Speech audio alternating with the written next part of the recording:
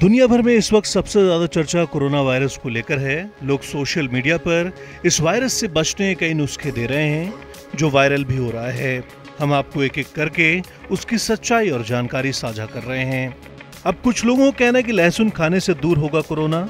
बता दें, लहसुन एक हेल्दी फ़ूड है, जिसमें कुछ एंटी माइक्रोबियल गुण पाए जाते हैं, लेकिन इसके द्वारा कोरोना वायरस से नहीं बचा जा सकता।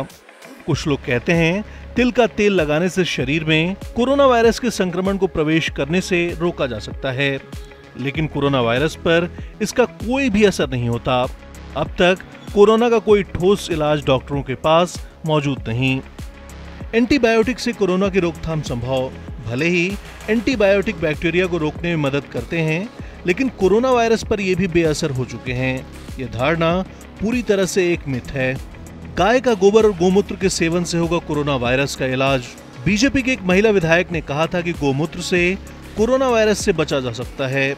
अगर गोमूत्र से इस संक्रमण को रोका जा सकता तो दुनिया भर के वैज्ञानिक इस वायरस को रोकने के लिए वैक्सीन नहीं खोज रहे होते। पालतू जानवरों से फैल सकता है कोरोना वायरस। यह बात अब तक किसी रिसर्च या स्टडी में साबित नहीं हुई है। और न ही इस बात के कोई पुख्ता सबूत हैं। लेकिन ये सच है कि जब भी आप अपने पेट्स को छुएँ, अच्छी तरह से हैंड वॉश करें। चाइनीज़ फ़ूड खाने से हो सकता है कोरोना वायरस। वैसे इस बात पे तो कोई लॉजिक ही नहीं। अगर आपको लगता है कि चाइनीज़ फ़ूड खाने से कोरोना से खतरा है तो आप बिल्कुल गलत हैं। डब्ल्यू ने चाइनीज़ फ़ूड को कोरोना वायरस फैलाने का रिस्क फैक्टर नहीं माना है। सोशल मीडिया पर चर्चा है, गर्मी जैसे जैसे बढ़ेगी, कोरोना वायरस का खतरा टल जाएगा।